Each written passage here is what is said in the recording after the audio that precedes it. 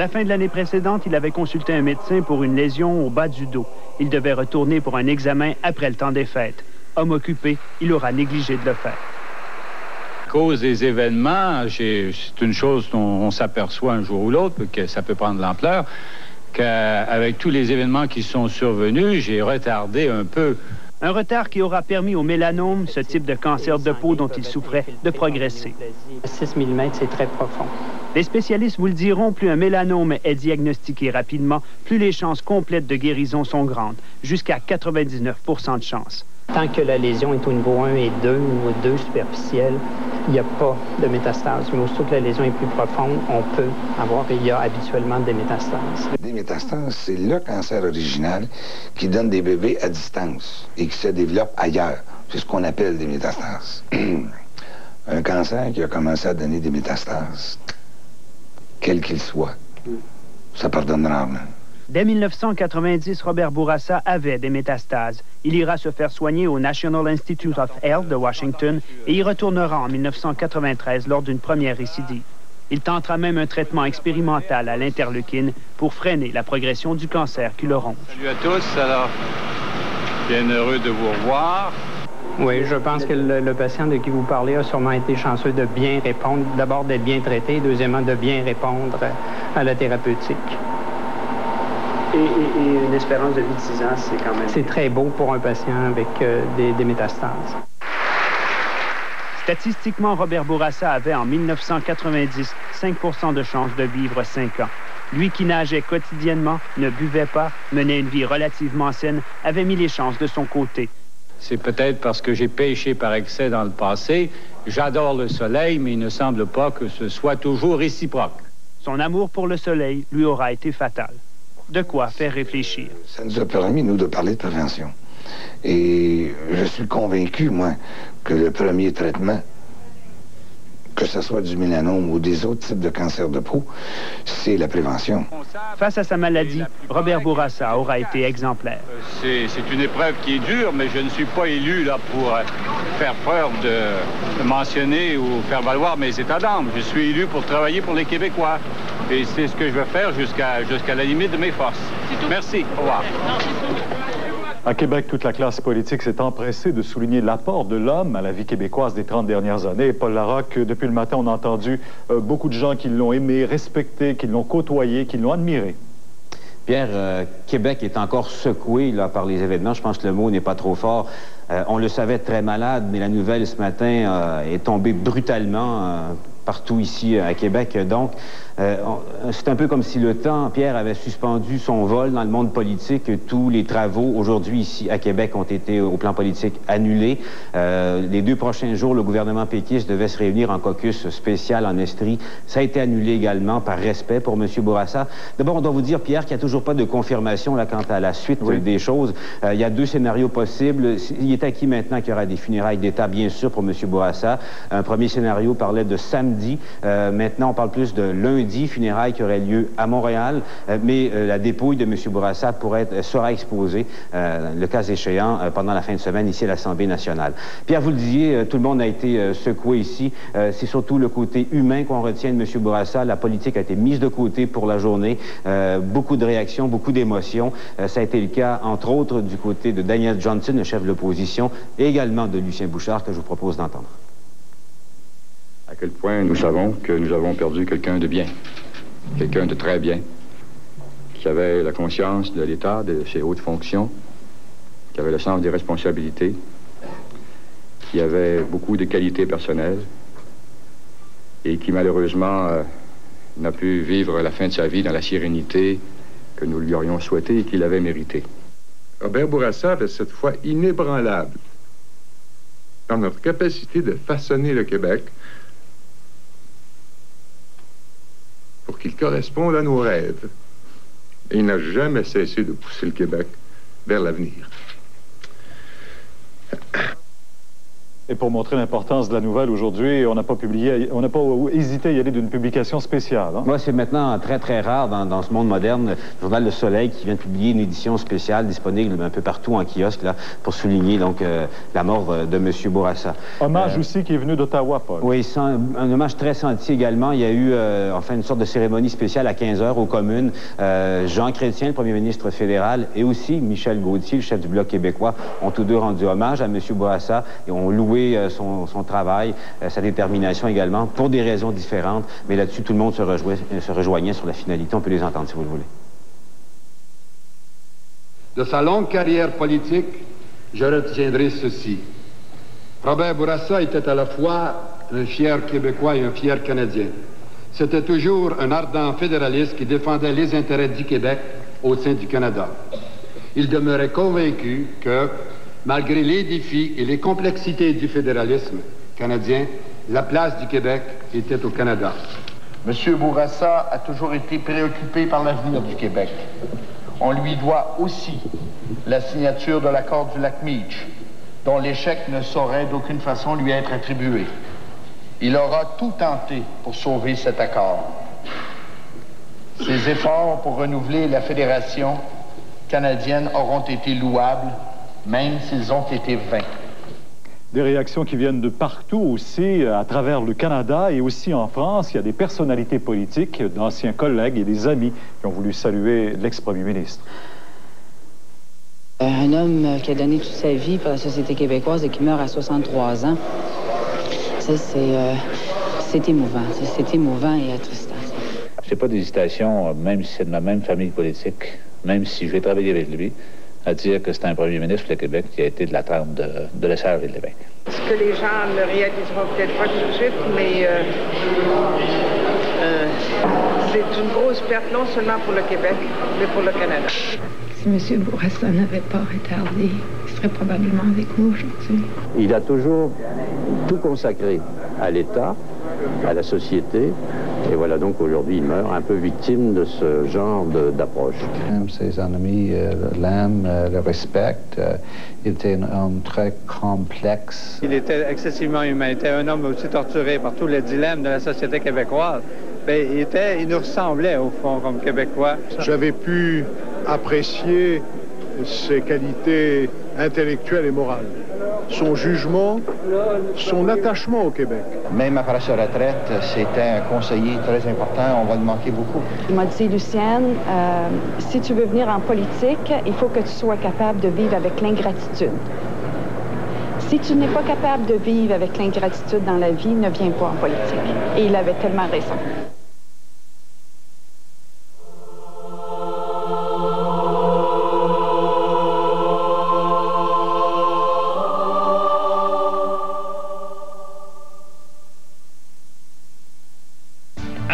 Construction Centre Mauricie, du 2 au 6 octobre, au Hall de la Mauricie. Construction, rénovation résidentielle ou commerciale, c'est important.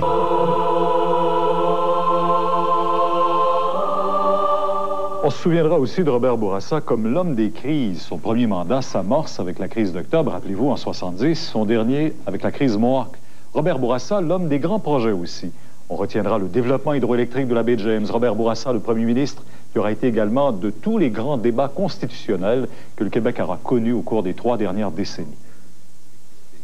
Le développement de la James, mes chers amis, c'est la clé du progrès économique du Québec. Et parce que c'est la clé du progrès économique du Québec, c'est la clé également du progrès social et de sa stabilité politique. En un mot, c'est la clé de l'avenir du Québec.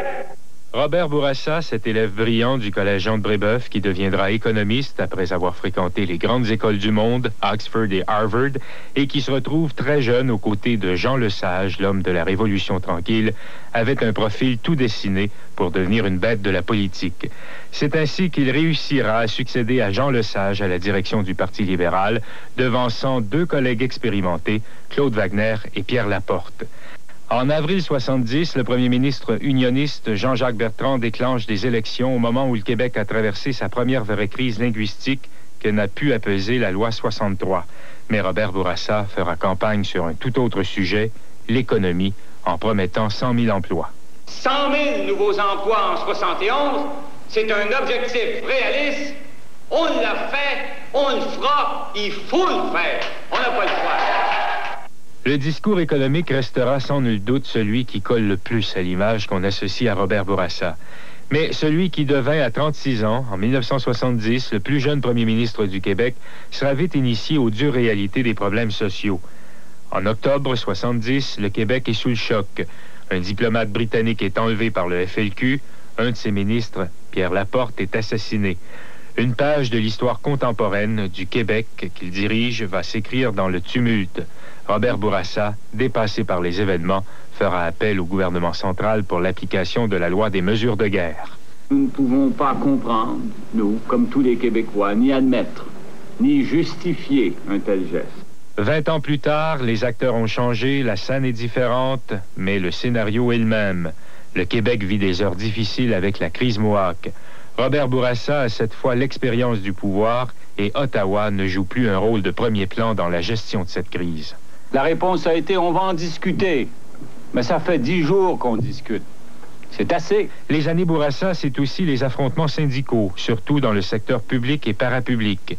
Après la révolution tranquille des années 60, les travailleurs veulent affirmer leurs droits et profiter de la richesse collective. Les années 70, c'est l'affrontement avec le Front commun. Robert Bourassa fera emprisonner les trois chefs syndicaux, ce qui ne l'empêchera pas de remporter la plus grande victoire de toute l'histoire politique du Québec en 1973 avec 102 députés sur 110. Une grande victoire, mais aussi une grande défaite, celle de 1976, l'arrivée du Parti québécois avec à sa tête René Lévesque. C'est à ce moment qu'il décide de se retirer de la politique. Il s'exile en Europe pour étudier et enseigner, ce qu'il fera plus tard à l'Université Laval. Mais au cours de ces années d'exil, la popularité de Robert Bourassa augmente. On le consulte, il devient une sorte d'éminence grise. En 83, c'est le retour en politique, un grand retour. 85 et 89, et il se fera réélire. Somme toute, les deux premiers mandats de Robert Bourassa furent les plus difficiles. À sa défense, on ne peut tout mettre sur le compte de l'inexpérience. Le contexte social et politique alimentait une ferveur nationaliste. Et sur le plan linguistique, il réussira tout de même difficilement à concilier tout le monde avec la loi 22 adoptée en 1974 et en 1988 avec la loi 178, il se retrouvera à nouveau pris entre l'arbre et l'écorce. Mais s'il y a une crise qui lui est apparue vraiment difficile à gérer, de son aveu même, ce fut celle du dossier olympique, parce qu'il devait continuer d'affirmer que les travaux seraient terminés en temps, en dépit des avis contraires de son entourage. L'histoire lui donnera presque raison. Les Jeux auront lieu en 1976 dans les nouvelles installations, mais dans un stade à moitié terminé. Et de toutes ces années Bourassa, sur le plan constitutionnel, que faut-il retenir? Qu'il a peut-être emprunté un parcours sinueux, souveraineté culturelle, État associé, superstructure et société distincte avec l'accord du lac Meach qui sombrera dans l'oubli. Et flirte avec l'indépendance en créant la commission Bélanger-Campo. Le Québec est aujourd'hui et pour toujours une société distincte, libre et capable d'assumer son destin et son développement. En 1990, on lui diagnostique un cancer. Il ira subir un traitement expérimental aux États-Unis il abandonnera définitivement la politique en cours de mandat. Je souhaite que ce qu'on conserve de moi, c'est quelqu'un qui a été totalement dédié à, à l'avenir du Québec et principalement à son avenir économique. Ça suffirait? C'est déjà beaucoup. Armand Dubois, TVA Montréal. Si cette mort touche tous les Québécois, on comprend que la famille libérale soit davantage attristée. Et c'est avec beaucoup d'émotion, vous l'avez entendu plus tôt, que Daniel Johnson a parlé de son prédécesseur. Je l'ai rencontré cet après-midi. Il nous rappelle son meilleur souvenir de Robert Bourassa. Euh, D'abord, euh, un homme extrêmement chaleureux, euh, très, très soucieux de, je du bien-être des gens qui l'entouraient, de leur famille, etc. Alors, moi, je m'ennuyais de lui beaucoup. Il avait ce don de laisser euh, comprendre à tous les gens à, qui il parlait qu'il les écoutait attentivement. Et, et il le faisait. C'était pas, pas seulement un don, c'était pas pour la galerie, c'était vrai. ça. Quand il- vous lui avez succédé, je me souviens quand il vous a remis les rênes du Parti libéral en décembre 93, c'est ça? Lors de cette soirée-là, il avait dit, euh, Daniel Johnson, avec Daniel Johnson, c'est oui ou c'est non. Avec moi, c'est peut-être. Est-ce que ce peut-être n'était pas justement à l'image des Québécois toujours? Bien, c'était euh, certainement à l'image de euh, la tentative constante que faisait M. Bourassa de tenter, euh, je dirais, les coalitions, de rassembler toujours davantage. Et ça, c'est une leçon, chose certaine, même à travers le oui ou le non. il faut toujours continuer à construire des coalitions. Et ça, il le faisait. Et tous les hommes politiques, je pense, tous les élus à tous les niveaux devraient se soucier de ça. Il y avait un grand soin d'assurer des assises solides à ces décisions. Et ça, ça se fait en écoutant tout le monde et en rassemblant les gens. Vous étiez à ses côtés, bon, au moment de l'échec de Mitch et tout. Est-ce qu'il a été vraiment souverainiste, Robert Bourassa? Il n'a jamais été, euh, à ma connaissance, euh, il a la connaissance de qui que ce soit. Il a toujours été profondément convaincu, d'abord, que le Québec doit se développer. On a des pouvoirs qu'on a à exercer, un degré d'autonomie qu'on doit chercher. Et il a toujours été convaincu, et on l'a vu au référendum euh, il n'y a pas si longtemps, il n'y a même pas un an, qu'il euh, croyait toujours qu'on peut réussir à trouver notre place à l'intérieur d'un plus grand ensemble. C'est à notre avantage, c'est dans notre intérêt. Cet avantage, c'était cet ensemble, c'est le Canada, évidemment. Et sa plus grande réalisation? Robert Bourassa, vous pensez? C'est au niveau économique, la baie de James? C'est d'avoir, euh, je le disais ce matin, réussi à interpréter nos rêves, nos rêves de grandes réalisations concrètes. Ça peut être celle-là, mhm. ça peut être d'ouvrir le Québec sur le monde. Il l'a fait. On sait euh, qu'il plaidait pour le libre-échange, l'ouverture des frontières, son expérience européenne et, je dirais, son... Euh, son penchant menait à la plus grande ouverture possible pour les Québécois. Et ça, vraiment, c'était dans notre intérêt. Et moi, je me souviens de ça. Merci beaucoup. Depuis 46 ans, Marcel Amel et Fils se spécialise dans la vente et la réparation de machines à coudre, vous assurant ainsi un service à la hauteur de vos attentes. Dépositaire de plusieurs marques, dont la réputée Janome, Amel et vous offre toujours le meilleur rapport qualité-prix. Voyez ce modèle. Claude Charon est maintenant avec moi. Claude qui est entré à l'Assemblée nationale en 1970, au moment où Robert Bourassa entrait comme premier ministre. Il était probablement, il était le plus jeune premier ministre, mais vous étiez probablement le plus jeune député. Moi, j'étais le plus jeune député. En fait, il y avait 36 ans, j'en avais 23.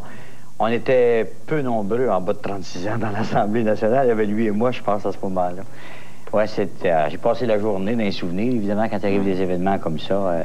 Qu'est-ce que vous retenez de Robert Bourassa? Ben, moi, moi c'est du côté personnel, parce que je trouve qu'il n'y a pas assez de gens qui l'ont connu. Il était tellement straight sur le plan politique que peu de gens ont pu goûter à sa chaleureuse personnalité, à son immense sourire, son sens de l'humour aussi, qu'il n'utilisait jamais en public de crainte de blesser quelqu'un, mm-hmm. mais qui était décapant en privé. C'est surtout à ça que j'ai pensé aujourd'hui euh, de lui. c'est un... C'est un homme que j'ai jamais été capable d'haïr. Il m'a fait enrager bien des fois, mais j'ai jamais été capable d'haïr. Mais dans l'histoire, comment on le verra, Robert Bourassa, vous pensez? On le verra très certainement comme euh, celui qui a sauvé le Canada. Moi, je crois que si euh, y avait... Et, je comprends que la famille fédéraliste euh, est en deuil aujourd'hui parce que c'est leur meilleur joueur qu'ils n'auront jamais eu et qu'ils n'auront probablement jamais. Si le Québec avait été laissé au choc euh, du mépris mm. qu'incarnait euh, le, dirigeant fédéral de l'époque et, du charisme qu'avait René Lévesque. Je pense que si les deux machines s'étaient enfrontées sans qu'il y ait ce tampon du peut-être, comme il disait tout à l'heure, entre les deux, le destin du Québec aurait été différent, mais euh, très probablement aussi que toute la configuration du Canada l'aurait mm. été. Alors, il, a été celui qui a tenu la, la corde. Je veux juste revenir quand vous étiez à l'Assemblée nationale, vous avez affronté, vous étiez leader parlementaire, il était là aussi. Euh, vous étiez dans l'opposition quand il était à la banquette de premier ministre aussi. Comment c'était ces affrontements? On, voyait chez lui, vous disiez qu'il avait le sens du mot. On sentait même dans toutes ses répliques ce sens-là aussi. Ah oui, ben oui. Puis c'était son, meilleur moment, je pense, le moment favori de sa journée. Euh, c'était la période de questions. Euh, parce que... Mais il y avait des moments rares où on le, quand il n'avait pas ce flegme, on l'appelait M. Teflon, cette espèce de... Il, a, rien ne collait à lui. vous vouliez parler de chômage, il parlait de pétrole, bon, etc. Il faisait ce qu'il voulait.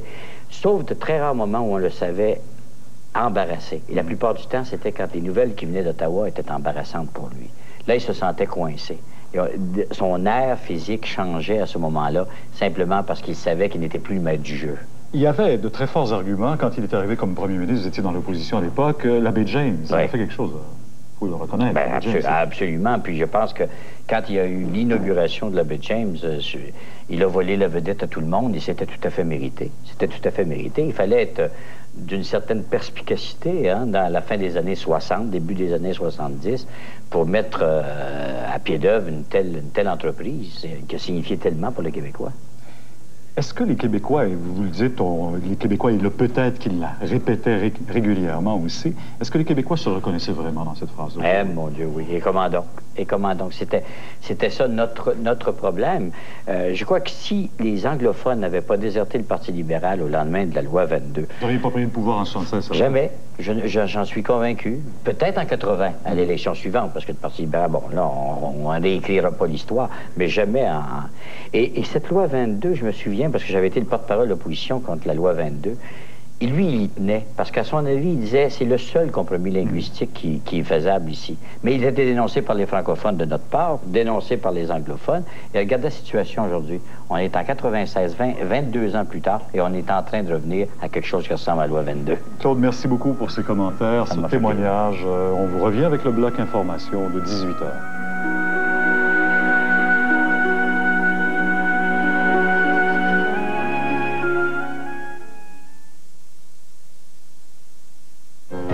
Ne manquez pas le bateau. Gagnez votre place à bord. Une super promotion. Le Québec vous aime, Monsieur Bourassa. Des larmes d'émotion contenues ont alors coulé silencieusement sur son visage.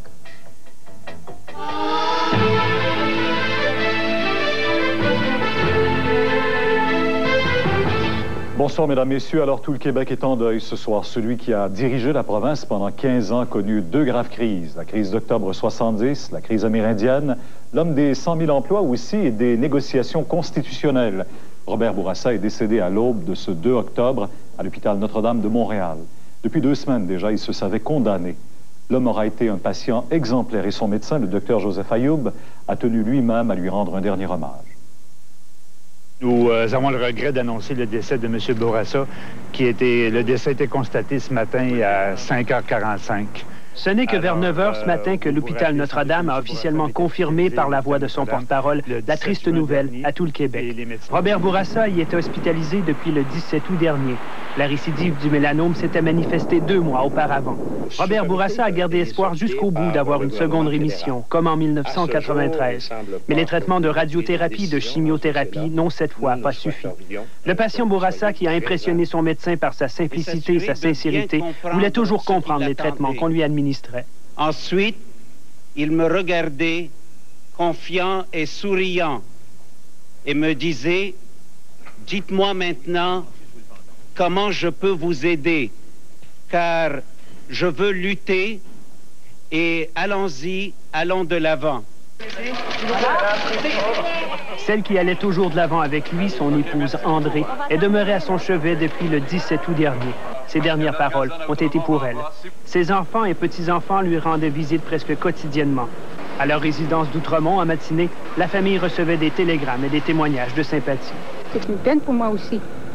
pour ça que c'est difficile pour moi de parler. là.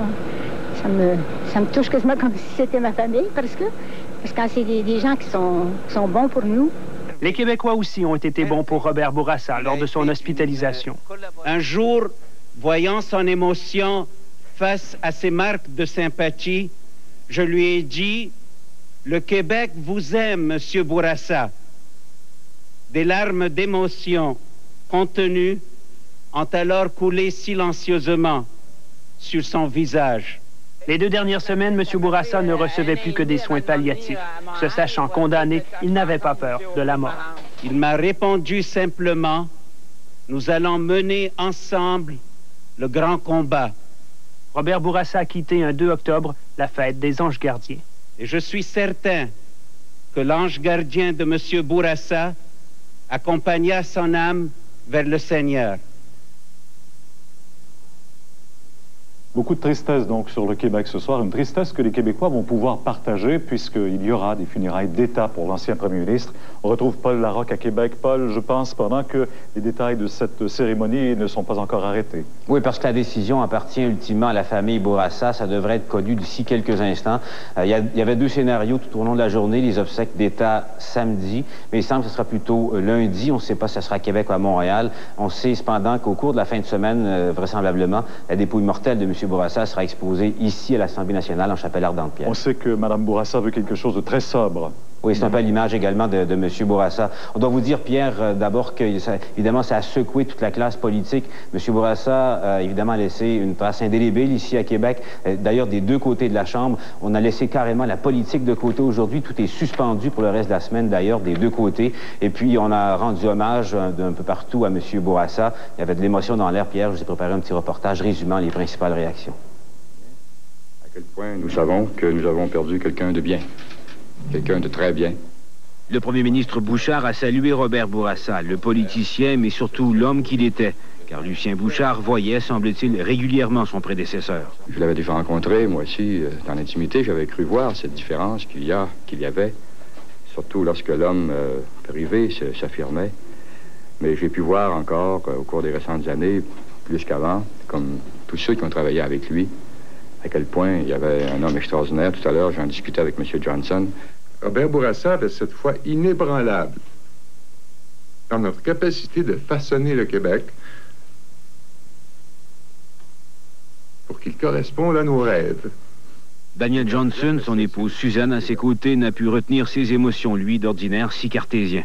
On ne peut pas côtoyer quelqu'un pendant 15 ans, euh, bénéficier de sa confiance, euh, son amitié, euh, lui seul aurait pu le dire, mais moi je peux l'affirmer à mon sens, euh, l'affection que je lui ai portée, au-delà de l'admiration, du respect que tous les Québécois devraient lui porter. Euh, peut-être difficile de lui manifester de l'affection, il, il le recevait pas très bien.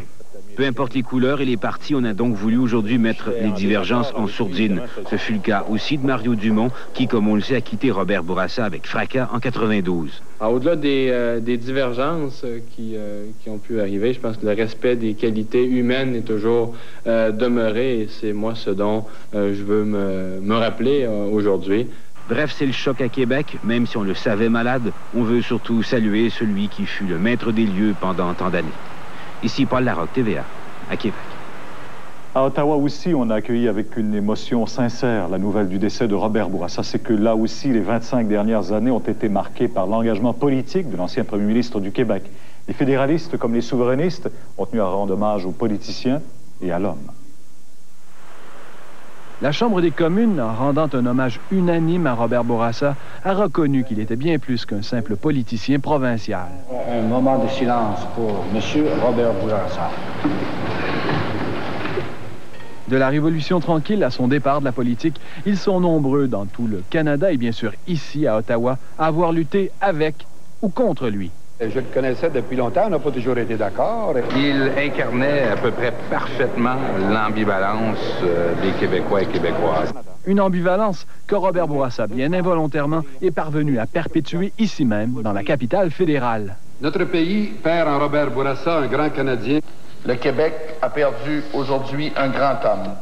Mais pour tout dire, on a oublié aujourd'hui la valse hésitation dans laquelle il a mené le pays au cours de ses années de vie publique. Il demeurait convaincu que Malgré les défis et les complexités du fédéralisme canadien, la place du Québec était au Canada. Ces efforts pour renouveler la Fédération canadienne auront été louables, même s'ils ont été vains. Tour à tour, on a salué son travail acharné pour le développement économique du Québec, ses dons de conciliateur, sa persévérance politique et même Preston Manning a rendu hommage à l'homme qui, jusqu'au dernier moment, a gardé la tête haute dans l'adversité but particularly his courage in adversity. Merci. Richard Latendresse, TVA, à Ottawa. Les deux prochains témoignages sont ceux de deux anciens premiers ministres du Canada. Curieusement, M. Bourassa, qui avait beaucoup plus d'affinité avec le leader conservateur Brian Mulroney que son homologue libéral Pierre Trudeau. Les deux gardent de lui un bon souvenir, un souvenir du politicien déterminé. Brian Mulroney qui a réagi depuis Moscou, où il est en voyage d'affaires, et M. Trudeau qui était à Montréal ce midi. s'il s'est battu courageusement contre sa maladie comme il s'est battu courageusement en politique, euh, c'est un, homme estimable. Je pense qu'il mérite euh, les remerciements, l'admiration de la population. Il s'est dévoué pour le Québec. Il a passé sa vie à, essayer d'améliorer le sort des Québécois. Alors je l'admire bien. On n'a qu'à penser euh, à, à, la baie James, puis à, l'accord du lac Meach, l'ALENA, le libre-échange avec les États-Unis. Ce sont des dossiers historiques. En faveur du Québec et du Canada, où Robert Bourassa a joué un rôle euh, de, un rôle de grand leader. Sans lui, dans plusieurs cas, on n'aurait jamais eu ces résultats-là. L'économie été le grand credo politique de Robert Bourassa. On en parle après la pause.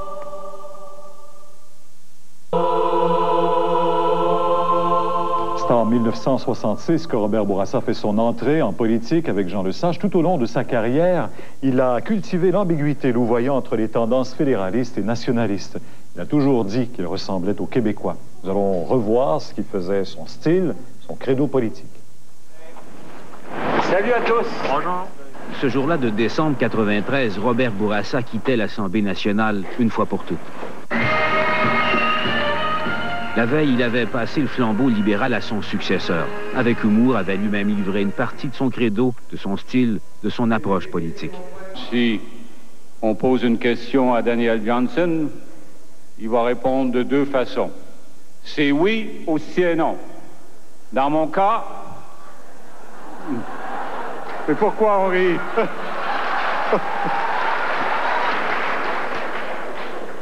Le mot peut-être est un beau mot dans la langue française. C'est que Robert Bourassa a été sans aucun doute le politicien le plus ambivalent du Québec. C'était pour plusieurs le prince de l'ambiguïté.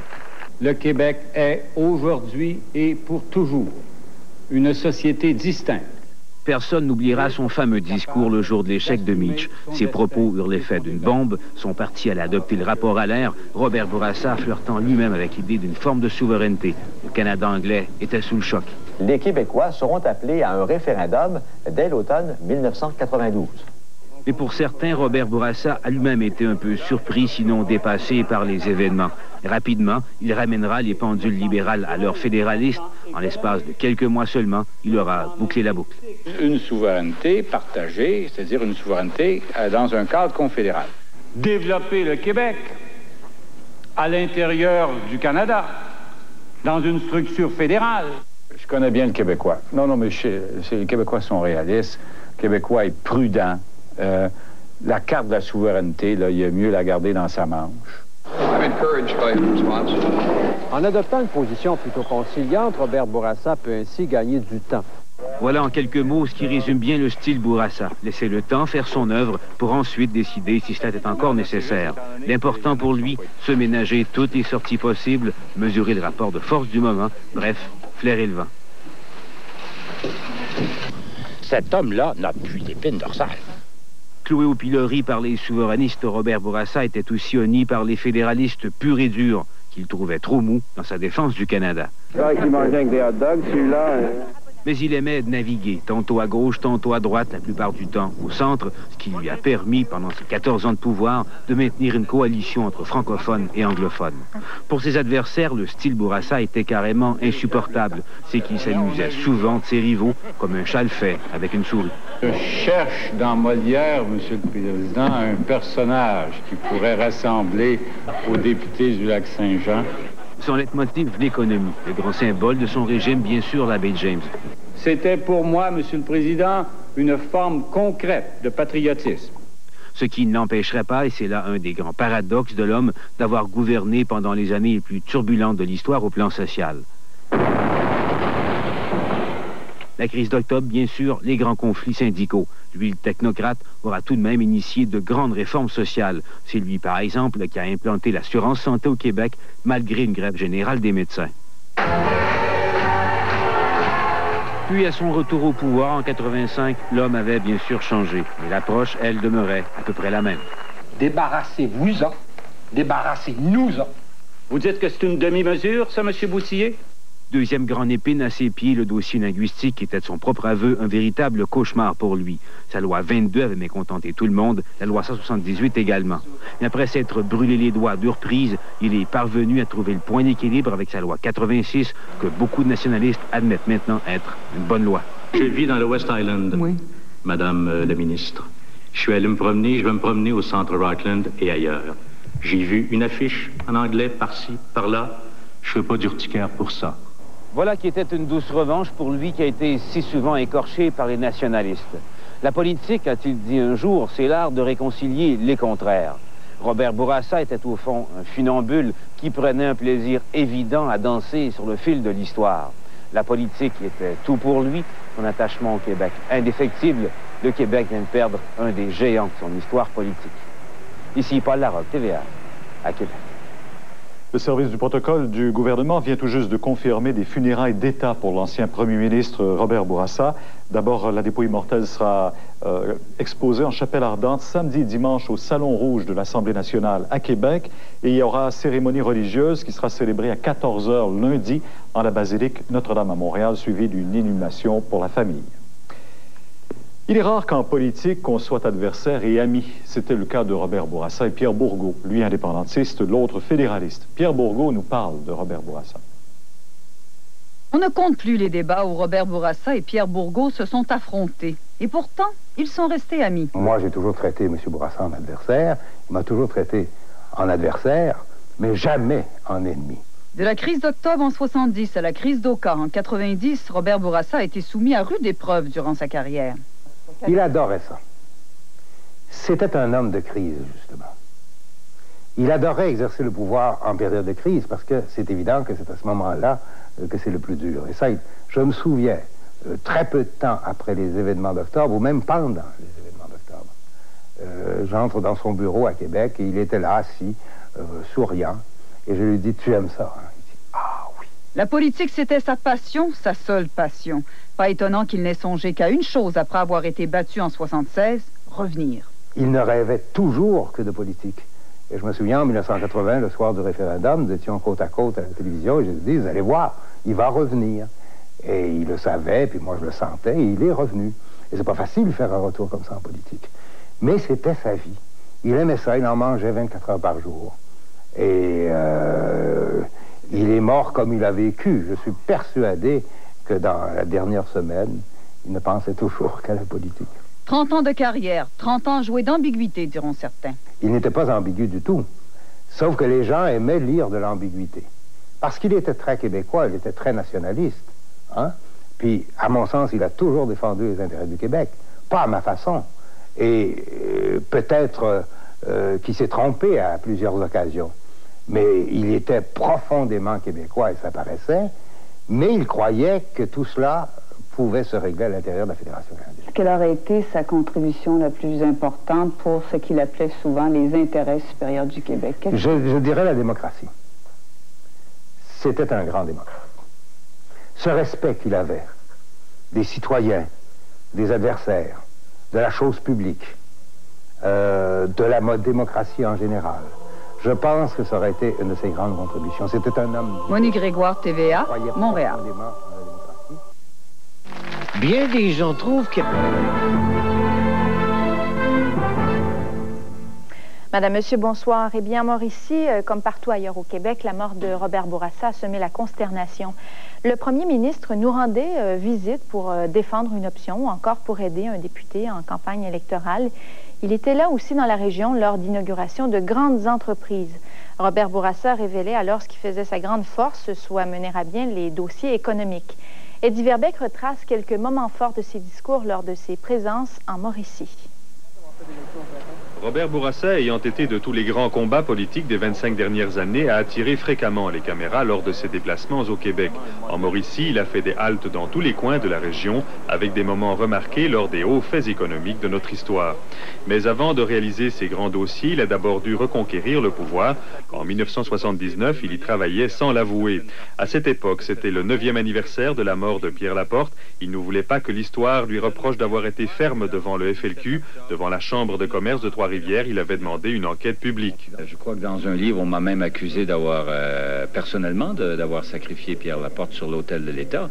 Euh, je n'ai pas pris ça au sérieux, euh, étant donné le contexte, mais je crois qu'il y a des gens qui ont pu le croire. Et il est important, dans une question aussi fondamentale, il est important que les Québécois sachent qu'on a fait la vérité là-dessus. Un an plus tard, il s'engage dans la campagne référendaire. Son discours, comme souvent, a des saveurs économiques. On ne peut pas faire autrement que conclure que le problème numéro un pour les prochaines années, pour les dix prochaines années, c'est le chômage des jeunes. En 1982, on est en pleine crise économique. Robert Bourassa est à Syntec. Le chef du Parti libéral, Claude Ryan, éprouve des difficultés de leadership. Mais habilement, Robert Bourassa esquive les questions sur un éventuel retour. J'aime beaucoup, j'aime beaucoup les gens de Syntec, mais c'est pas l'endroit pour moi pour annoncer quoi que ce soit. En 1983, il est bel et bien de retour. Comme chef du Parti libéral, il sillonne les régions avec cette dose de confiance qu'il affichait souvent. Et euh, Yvon Picotte, député de Masquinongé à mes côtés, euh, peut en témoigner. Yvon Lemire, conseiller régional, et Michel Venn, euh, président de l'Association des militants, peuvent témoigner de l'appui que j'ai eu dans la Mauricie pour le leadership. Je pense que c'était 100 pour pas avoir mieux. Un an plus tard, son discours a pris du mordant, les élections s'en viennent et son humour incisif le sert bien. Mais Yvon Picotte ne se contient plus. Tizoun Garon, lui, il répond avec toutes sortes de, toutes sortes de pirouettes. Il répond avec toutes sortes de pirouettes. Et pendant ce temps-là, les agriculteurs attendent pour avoir des subventions. En 1989, il est au pouvoir depuis quatre ans et dresse un bilan positif de son premier mandat. Dans l'ensemble, l'économie, les finances publiques, la, paix ouvrière dans le secteur privé, tout ça sont des éléments euh, très, très positifs. Début de cette décennie, c'est l'heure de l'avènement des grandes industries. On le retrouve à Deschambault pour l'annonce de l'Oralco en août 1989 et pour l'inauguration de Norsk Hydro en mai 1990. À travers tous les discours que nous avons relevés lors de ces passages en Mauricie, il y avait en filigrane l'économie, un fil conducteur pour cet homme qui cherchait à se dégager des sables mouvants de la Constitution. Eddie Verbeck, TVA, Trois-Rivières. Et puis Yvon Picotte rend lui aussi hommage à Robert Bourassa. C'est en effet grâce à lui que le député de Masquinongé a pu accéder aux hautes sphères de la politique provinciale. Voici l'essentiel d'un entretien qu'Yvon Picotte nous a accordé ce matin. La peau, euh, c'est pourtant quelqu'un qui prenait un grand soin de sa santé, mais le soleil, c'était son, seul excès, ça vous le saviez. Bien, la seule exagération qu'a fait Robert Bourassa que je connaisse dans sa vie, ça a été justement de, de, bénéficier du soleil. je me rappelle que Robert Bourassa avait fait aménager sur le bunker un bureau qu'on a aménagé à tous les printemps, puis il payait ça de sa poche d'ailleurs où il s'installait dès le début d'avril, le soleil d'avril, il s'installait en, bras de, manche, et puis euh, avec sa cravate un petit peu euh, euh, dénoyée dans le cou. Et à, partir de ce moment-là, il, prenait du soleil. Alors la seule exagération que ce gars-là a faite, c'est le soleil, et puis c'est assez malheureux, mais c'est un mélanone qui l'emporte. Hein. Il y avait deux Robert Bourassa. Hein. Il y avait un Robert Bourassa euh, de sa personne dans le privé, puis il y avait un Robert Bourassa dans le public. Robert Bourassa en privé, c'était un homme affable, c'est un homme compréhensif, c'est un homme simple, c'est un homme qui ne prenait jamais un repas au restaurant sans aller remercier la cuisinière ou le cuisinier dans la cuisine pour lui, parler de son professionnalisme. C'est un fin causeur. Robert Bourassa ne vous faisait jamais un reproche. Il était tellement subtil, il était tellement subtil que avec une phrase, tu partais à rire, puis tu comprenais qu'il venait de te donner une directive, mais jamais il ne te la donnait. Alors ça, c'était Robert Bourassa. Si Robert Bourassa avait été dans sa vie publique ce qu'il a été dans sa vie privée, il aurait été adoré par tous les Québécois et Québécoises. Il y avait les alliés, il y avait aussi les adversaires. Euh, Yves Duhem reconnaît que l'homme était un infatigable travailleur. Cependant, l'ex-ministre péquiste regrette qu'à cause de cela, M. Bourassa n'a pu profiter bien longtemps d'une vie personnelle paisible depuis son retrait de la politique il y a deux ans. Moi, ça me triste un peu de voir que des hommes comme lui, euh, euh, qui a été premier ministre pendant quatre mandats, euh, décède à peine trois ans après avoir, deux ans après avoir quitté la vie publique. Euh, je trouve ça cool. Euh, ça, ça, doit faire réfléchir. Et ça m'indique aussi que les charges de travail sont peut-être mal réparties. Parce que M. Bourassa est un homme qui s'est tué au pouvoir, au gouvernement. On l'a vu, par exemple, pendant la crise d'Oka, qui n'était pas une crise facile à gérer. Qu'est-ce que ça lui a coûté sur le plan de sa santé? Ben, Dieu le sait. Hein? Une chose qui est sûre, c'est qu'il n'est plus là aujourd'hui. Dans un petit moment, je vous donnerai euh, tous les détails de la météo. De plus de 40 ans se souviennent d'une grande promesse de